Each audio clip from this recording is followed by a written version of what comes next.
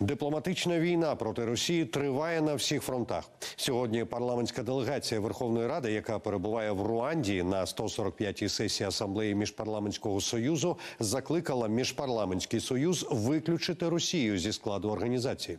Саме про це зараз поговоримо з першим заступником голови Верховної Ради України Олександром Корнієнком. Він з нами на прямому зв'язку. Пане Олександре, вітаю вас. Вітаю, слава Україні. Героям слава. Отже, сьогодні ви закликали міжпарламентський союз виключити Росію зі складу. Чи підтримали вас представники інших країн-учасниць? Ви знаєте, міжпарламентський союз це найстарша така парламентська організація, яка об'єд- об'єднує парламенти всіх, майже всіх країн світу. І тут дуже складні заплутані процедури. Вони формувались не один не одне десятиліття, а більше ста років ця організація існує. І не так то тут не можна простим голосуванням, грубо кажучи, виключити делегацію зі складу. Але ми запустили певний процес знов таки з нашими побратимами, вже я так буду казати, з Великобританії, з Нової Зеландії, з Канади, з країн Європи, які тут об'єднані в велику геополітичну групу.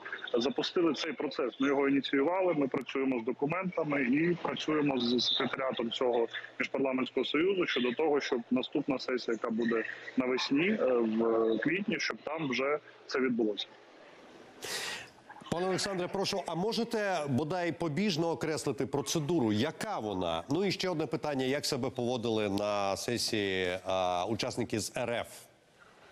Знаєте, учасники з РФ дуже е, розхвилювалися вчора ввечері, тому що за поданням Чилі е, вся латиноамериканська група ініціювала прийняття emergency такої е, термінової резолюції цього конгресу. Вона не планувалась. Вона вчора виникла, скажімо так. І ця резолюція щодо подій в Україні, щодо анексії, засудження анексії, щодо пересторог, щодо food crisis, тобто кризи з продовольством, і звичайно щодо ядерного шантажу Російської Федерації. Російська Федерація працювала на те, щоб це не відбулось. Вона працювала зі своїми, на жаль, партнерськими країнами, які в неї тут є. Вони ті самі, що вон ми бачили, і Білорусь, і е, Казахстан, і решта країн, які не підтримували. Нашу резолюцію, звичайно, це повні сателіти, е, типу там е, е, різних країн Африки, і нам вдалося зібрати підтримку разом з партнерами. За нас вчора голосувало несподівано і кілька азійських країн, такі як Камбоджа, і кілька африканських країн, які послідовно підтримують Україну в Генеральній асамблеї. ООН. Тобто нам вдалося фактично неможливе в умовах, коли Тут багато російського впливу історично було в міжпарламентському союзі. Ми перело- переломлюємо цю ситуацію і вже йдемо до того, щоб е, асамблея завтра підтримала нашу е, резолюцію, яка буде досить жорстка щодо Росії. Ну і звичайно будемо працювати по виключенню. Процедура складна, але ми зараз працюємо над дуже простою е, лінією, що Росія не виконує послідовно всі рішення асамблеї міжпарламентського союзу. Перша асамблея цими рішеннями була навесні на Балі. В наша делегація онлайн приймала участь. Це було у березні, коли російські війська були під Бучою. Тоді вже була прийнята резолюція, яка вимагала від Росії вивести війська з України. Звичайно, росіяни це не зробили за 8 місяців, як ми бачимо. Тому у нас є всі підстави вимагати виключення організ... е, з країни зі складу міжпарламентського союзу за невиконання рішень цієї організації. Просто напросто. А скажіть, будь ласка, а чи передбачено в е, якихось статутних документах е, взагалі союзу, а саме таке покарання за невиконання резолюції, саме виключення? Я до того, що а чи не може бути якогось іншого покарання? Тобто, чи вдасться Україні домогтися свого? Ми працюємо над цим. Звичайно, е, будемо працювати і над іншими способами е, е, впливу на Росію в цій саме цій парламентській спільноті. Але ви знаєте, країна вигнанець, країна ізгой, вона вже мало так би мовити.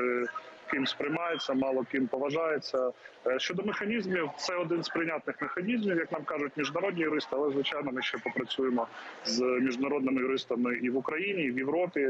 Знов таки наші європейські побратими всі на нашому боці, всі будуть допомагати нам сформувати правильні позиції на майбутнє для виключення Росії звідси. Ну і звичайно, коли ми кажемо про виключення з Росії де-інде, е, має бути розмова про виключення Російської Федерації із Організації Об'єднаних Націй, з Ради безпеки ООН. Ну, така країна не може просто перебувати в будь-яких міжнародних організаціях.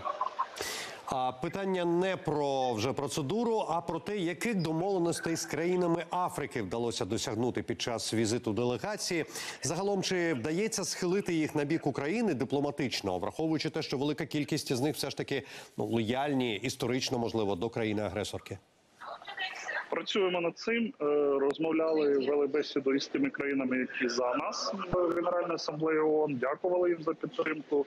Запевняли їх, що фуд крайзис не буде продовжуватись, що ми будемо все робити над тим, щоб Україна постачала на світові ринки необхідну продукцію аграрну, ціни не зростали.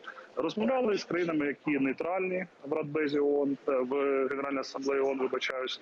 Ну, звичайно, будемо далі з ними розмовляти. В них є свої різні погляди на ситуацію. Ми доносимо їм правду, доносимо, розвінчуємо всі міфи російської пропаганди, починаючи з того, що Україна це якась там страшна земля, куди не варто приїжджати людям з Африки, і закінчуючи тим, що ну власне всі ці нісенітниці про геноцид на Донбасі і так далі. Це повна маячня і брехня Росії. А насправді геноцид щодо українців Бучі, щодо е, зараз ми бачимо це на звільнених територіях Харківська область. Це просто жахливо.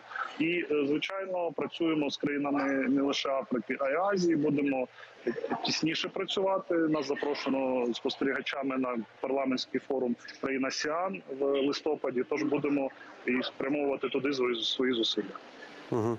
Пане Олександре, я вам дуже дякую за таку важливу роботу за е, те, що тримаєте дипломатичний фронт. Це був Олександр Корнієнко, перший заступник голови Верховної Ради України. У нас на зв'язку. Дякую вам, пане Олександро.